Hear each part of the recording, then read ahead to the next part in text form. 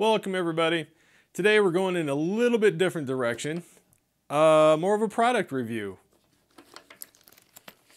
of this stick bag by a company called Tackle. Let's get into it.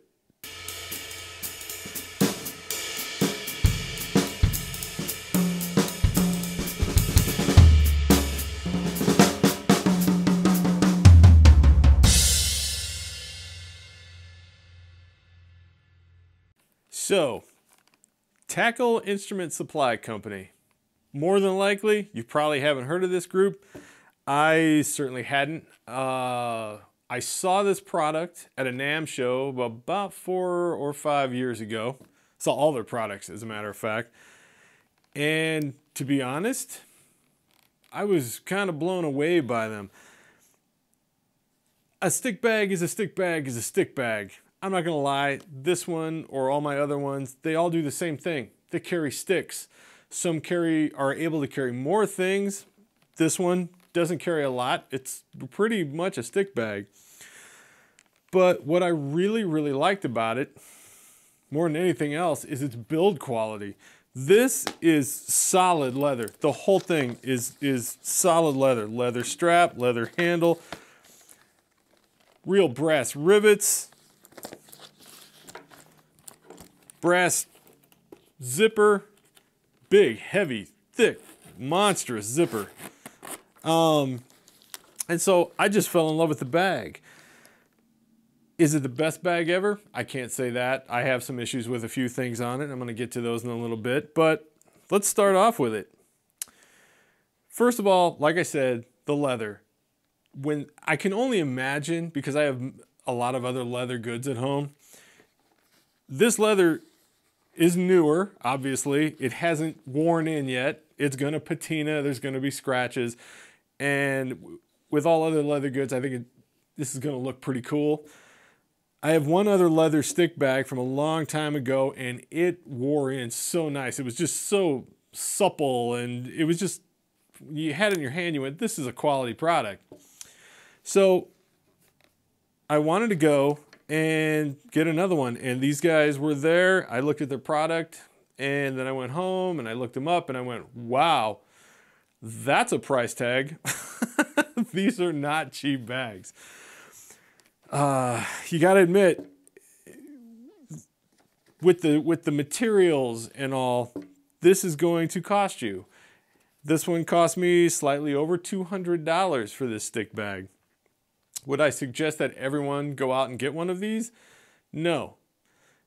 It's pricey, but it's built that way. The pleather type bags I've been using recently from a couple different companies, uh, yeah, sure, they work. You throw sticks in them, you throw them in your car, you bring them out, you get, get the sticks out, no one ever sees them but you. They work perfectly fine, but they're not built like this. And, you know, those pleather bags are like a $100 still. This is $200 or slightly over, and it's just built like a tank. So let's get into it. We've got, first of all, a pocket on the front right here. It's got the got their stamped logo into it. Tackle Supply or Tackle Instrument Supply Company. I'll get that right someday. I like this. This isn't going to give way to a, a button. It's not just going to pop open. It is literally a buckle. I think that's kind of cool. Now, this pocket is pretty deep, as you can tell. It's a pretty deep pocket. It's not very wide. I can get my hand in there. You're gonna be able to put in there, you know, your wallet, your phone, keys, drum keys, uh, earplugs, earbuds, in-ear monitors things like that. You could even probably put a uh, the the smaller iPad in there too. Looks like it's it's would fit that perfectly well. But you're not going to get much else in there. Uh, but still, you know, the stuff that I take, everything will fit in there. But everybody's different. Whatever you take, maybe maybe it won't work for you. But for me, it's plenty big for what I'm going to be bringing. So then, let's buckle this baby back up with the cool buckle. Okay, then on the back, on the edge, let's put it, all leather shoulder strap. Throw it over your shoulder, take it with you. Brass, brass, everything on this thing is brass, it's hardcore, but there's a cool thing that I, that I both like and don't like, but I'm gonna tell you the like part first. They came up with a way to make this a freestanding bag. And what you do is you unpop that, you take the butt end of a stick, stick it right in there, and then put this part right there. And it's cool, but because of all the, the metal and everything down here, it doesn't quite hold flat, which me being anal retentive mm, gets to me. but it does work, okay? It does work. And I'll show you more about that later. Then this just pops back up. And of course, your shoulder strap, again, brass buckle right here. Adjust it to you, okay? Adjust it to you. If we keep going, nothing else on the back. So you have one pocket on the front, nothing else on the back. And the and their patented stick stand. That's what I'm gonna call it. Their patent, patented stick stand. All right, let's open this bad boy up. Now again, like I said, can't really see it, but brass, brass zipper, and I like it. And these teeth on the zipper are monstrous, but I really dig that. You just feel like it's quality, okay? Open this thing up, and there's the inside of the stick bag. Now, as far as being able to hold any more things, you have one small pocket here, which personally, when, when it wears in, if you put enough stuff in there and you wear into the leather, it will probably be handy, but this is one of my complaints and I'll get to that in a moment. Little uh, brass ring here, you can put your keys on it, whatnot. Two pockets, two main pockets. They are not divided like some bags, but I can hold all the sticks I'm going to need for a drum set gig. Go to a lounge, you know, whatever. This is not going to be a percussion bag. You're not going to throw mallets and stuff in here with, with the very large heads on them. The, this is strictly a stick bag as far as I'm concerned. And it's just robust leather. You have loops, leather loops here, so you can hang them from your floor tom like many people do. Okay. You also have this cool little spot right here for a drum key, and it's already hanging on the on the uh, on the device. So if I pop that bad boy open, break out my drum key, unscrew it, do whatever you need to with it. So that's I like that idea. It's there, it's handy, and it's within reach when you need it. Now I always have a drum key within reach, whether I've got a magnetized one on my snare drum I have one on my hi-hat that comes with the uh, Mapex Falcon hi-hat, although you're not going to, in the middle of a gig, be able to get to that in any way, shape, or form. So it's there when you need it, but you're not going to get to it. Here, say my one that I keep on my rim, my magnetized one, somehow falls off, I can reach for this one, okay? So,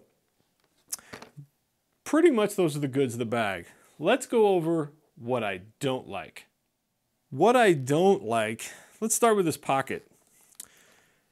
This pocket right now is pretty useless. If I were to take this drum key, okay, I take this drum key and I put it in the pocket, it, it is so tight. I mean, if you probably can't see that, but that is super tight in there. Now, you might be able to put a credit card in there or some cash, but not much else until you keep using it and using it and using it and let that leather become supple enough to hold something. But right now, outside of that one little drum key, that pocket is about useless, okay? It's nice to have, I'm sure, but it's, it's kind of useless. As far as As far as the pocket on the front, it's got plenty of room for anything I'm gonna need. I'll throw my keys in there, wallet, phone, whatever, for the night until I'm done with it. Uh, I like these, but they do hang low.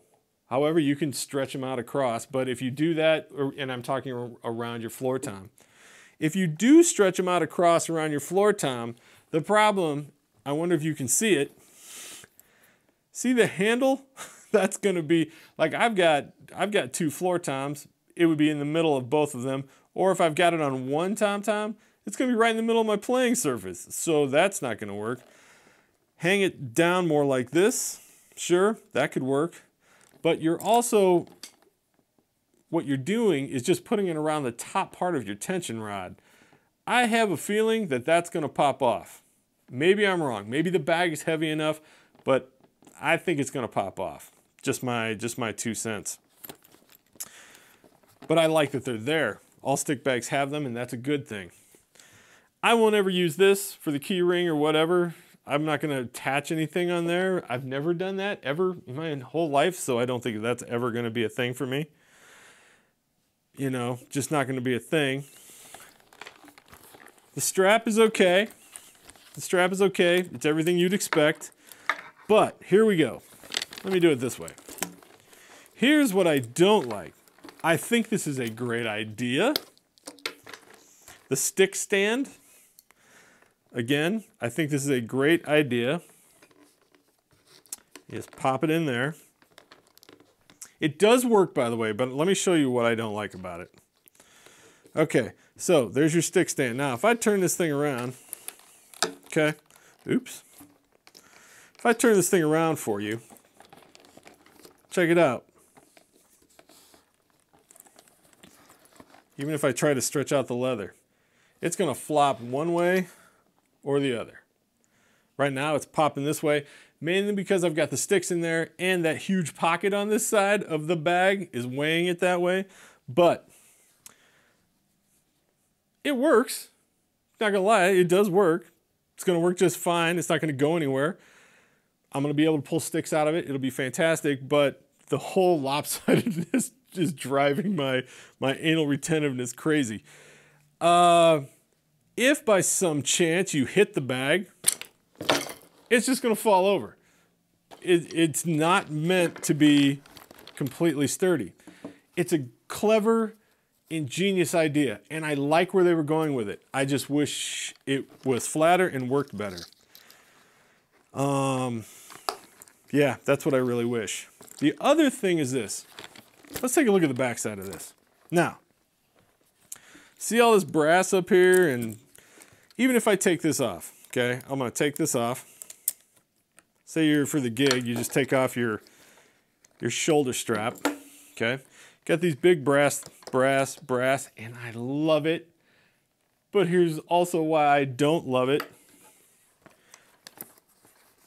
If you hang this from your floor tom, okay, and it's dangling, you could throw this forward if you're thinking about it. but still, there's enough there that when it's hanging on your floor tom, I can only imagine that it's going to scratch your floor tom. Like it's going to scratch the finish. Maybe it won't. Maybe it will. But uh, maybe not this one, but I, I just have this feeling like this is going to jangle around. And if you forget to take the strap off, then you got all of this attached up here, all of this brass. More stuff to scratch up your equipment. So I don't actually like I, I like it and I don't. I like the aesthetic of it. I think it's a cool design. It's it's manly. It's it's super cool. And then you you you go and use it and you're like, ah, I don't know. So so there's that. Now, let's go back and finish up on this. It's super well made. This thing is incredibly well made. Is it worth over $200?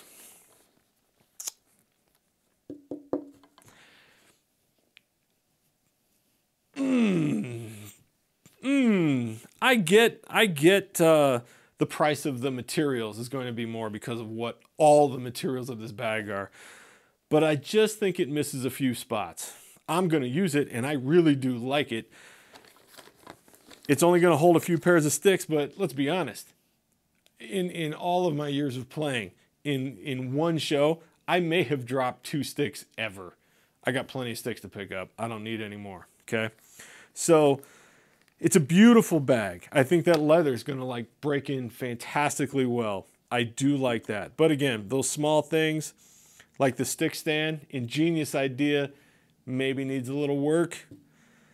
The hangers with all with the big handle and then the brass scratch up your equipment. I don't know. But all in all, the quality it is it's fantastic. It, it really is. Uh, I like this drum key idea.